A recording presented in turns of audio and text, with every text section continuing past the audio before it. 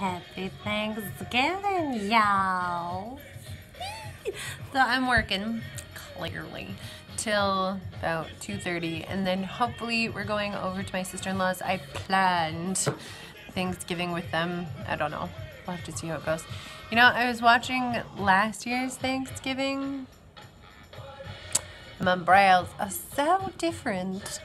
It is just crazy to see the difference that going to um, uh, makeup school and becoming a makeup artist is made my brow game.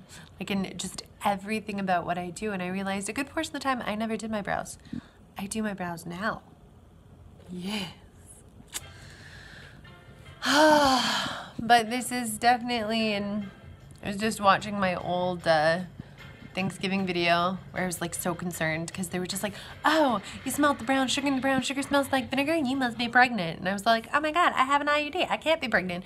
And I'm not. Like, that was no baby number two yet. I'm sad. You people are just bored by me, clearly. You don't watch my videos. I do have a video that I've been trying to upload and I've been having some issues. Let's go crazy Harry. And I have a retailer rant to have for you guys. I want to say it's illegal, but it's not.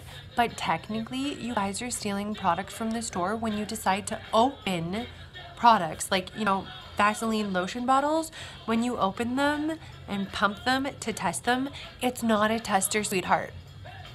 They ain't testers.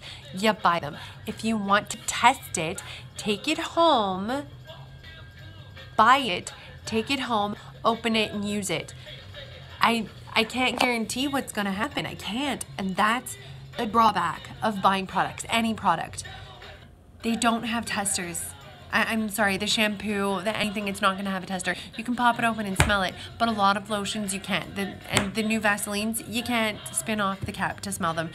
But I guarantee you, most of them are going to be scented, like highly scented. But please stop opening product.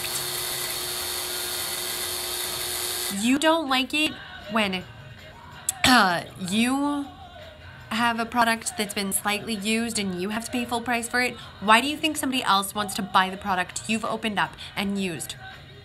Like, we all don't like using used products unless it's like for free. So stop opening up the shit.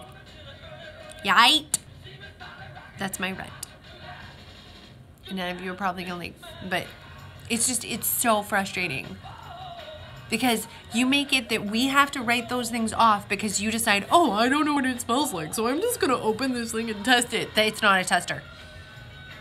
That is the product. Buy it.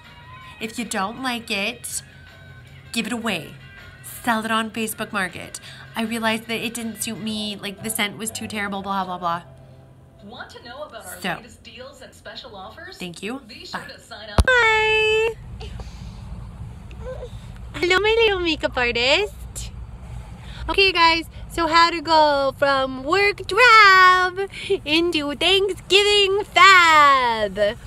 So I'm gonna show you the look afterwards, but we got some gold, we got some burgundy, and we're gonna get it on our eyes, and we're gonna look some fabulous.